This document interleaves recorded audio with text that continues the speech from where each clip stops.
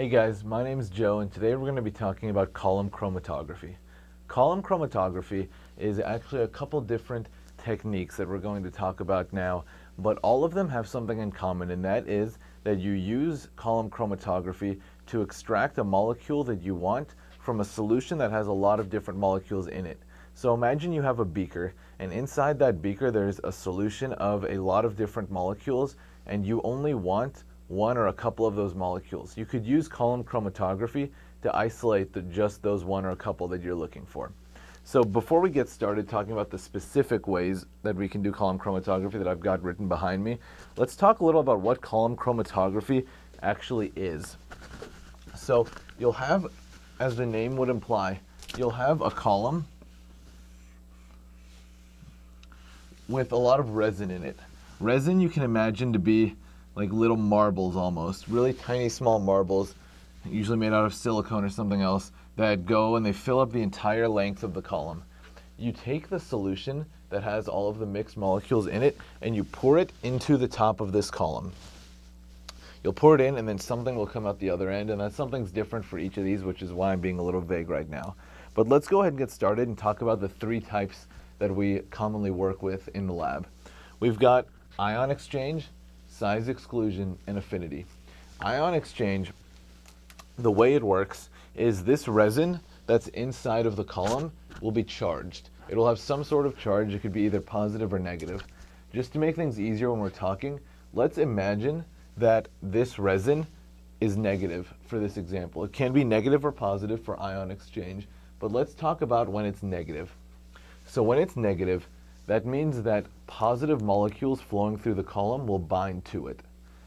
That means that that is called a cation exchanger. So a cation exchanger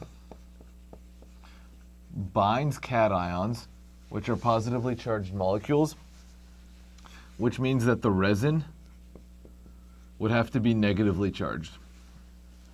Alternatively, you could have an anion exchanger that catches anions, which are negatively charged, so in that case, the resin would be positively charged. Uh, just to make things easy though, we're just gonna talk about cation exchangers for the rest of this example. So if we've got a cation exchanger and we've got the negative resin inside the column, what would elute first? That's basically the concept that we're gonna try and hammer in for each of these types is what elutes first and what elutes last. Elute means to come out of the bottom. So if you have a cation exchanger, the cations get stuck to the negative resin inside the tube. So the cations don't come out very quickly. They come out last actually. So now the resin is negative. So that means that it's going to repel other negative molecules. So that means that in a cation exchanger, the thing that elutes first would be the ones with the largest negative charge. Because you have a negative resin, so it pushes the negative molecules away from it and thus out of the column. Uh, the opposite would be true for an anion exchanger. So an anion would hold on to the anions and it would push the cations out first. Uh, but for this cation exchanger, the um, largest negative charge would elute first. So that means what elutes last? The, the thing that elutes last, then, would be the ones with the largest positive charge.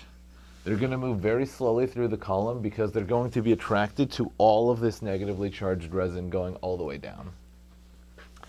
That's pretty much the gist of uh, ion exchange chromatography. The next, the next big one is size exclusion chromatography. So the way this one works is the resin is no longer charged. For this one, the resin is neutral. But what it does have is, I'm going to draw it enlarged here, just so that you guys can see. The resin's not actually that big, but the resin will have this sort of maze going through it. That's how you can think about it. It has this path. And each of them will have this. So basically the resin makes a really long convoluted path.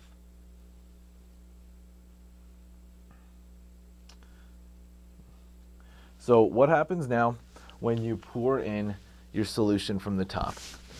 The small molecules that fit inside of this path, let me grab a different color here. The small molecules that fit inside of this maze will follow it down.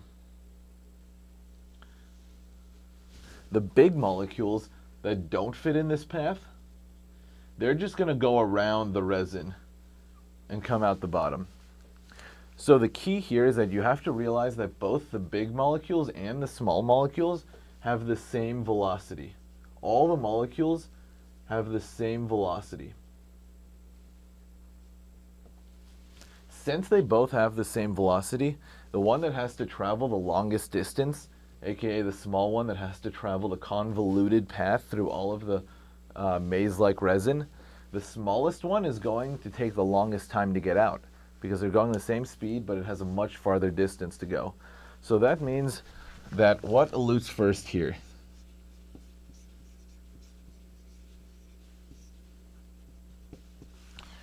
The thing that would elute first would be the biggest molecules because it won't fit inside of this path, so it's just going to bypass it and go right to the bottom. So the one that elutes first are the biggest. By biggest, we mean biggest in size, but for the purpose of just about any exam type setting, you can assume that biggest size means biggest molecular weight. Now that's not entirely true in the theoretical sense of chemistry, but for this purpose, you can assume that the biggest means the biggest molecular weight. Uh, that should get all of your questions right for you. So then what elutes last? The thing that elutes last would be the smallest molecules because they have to take this really long convoluted path, so it takes them a while to get out the other end. Uh, finally, the last thing we have is affinity chromatography. Affinity chromatography is the most exact and the most expensive of the three that we've got here today. The way it works is that the resin will have, once again, I'm going to blow it up just so you can see it the resin is going to have covalently bound ligands to it. Here by ligands, we just mean something that very specifically binds to a molecule. Uh, think antibodies. Antibodies bind very, very specifically to one molecule.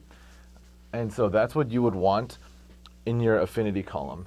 You would take the ligand, uh, I'm sorry, you take the resin and you would bound, you would bind to a ligand that very selectively binds only to the molecule that you want, like antibodies. So now you take you take the solution and you pour it into the top, and everything elutes out of the bottom except for the molecule that you want. Because the molecule that you want is going to be attached to the ligand, which is attached to the resin. So now, what elutes first in affinity chromatography? The thing that elutes first is all of the garbage.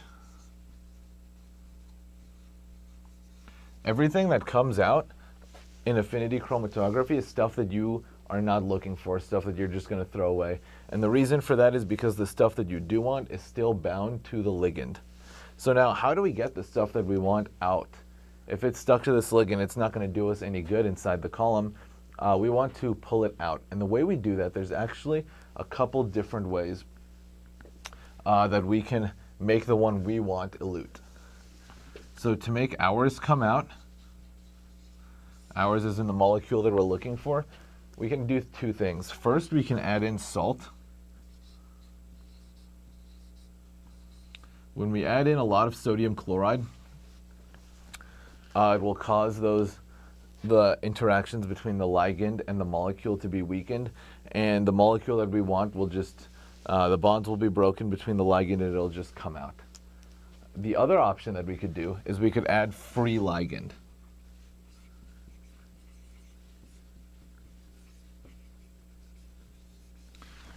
If what I mean by free ligand is we could take a solution. Uh, so imagine we have a beaker that has a solution in it, and in that solution, we could put this same ligand, the same molecule that binds very specifically to our molecule, but it's not going to be attached to resin. It's just going to be floating around inside of uh, whatever solution I've got, inside of water or whatever it may be. So then when I pour the, this solution into the top, this free ligand is going to travel. Let me get a third color for you guys. This free ligand is going to travel through the column and it's going to attract all of the molecule that we want and it's going to pull it away from the resin. So we've got this ligand and it is basically, this ligand is basically stealing the molecules that we're looking for from the rest of uh, the resin-bound ligand. So now if we do that, coming out of the bottom of the column, we'll have a solution that has ligand in it bound to our uh, molecule, and then we can do some further chemistry to separate that, but that's not uh, the point of column chromatography, that's just other chemistry. So these are the three different types of column chromatography that are commonly used. I hope this made it clear. If you guys have any questions, feel free to comment and I'll definitely get back to you. Have a good one.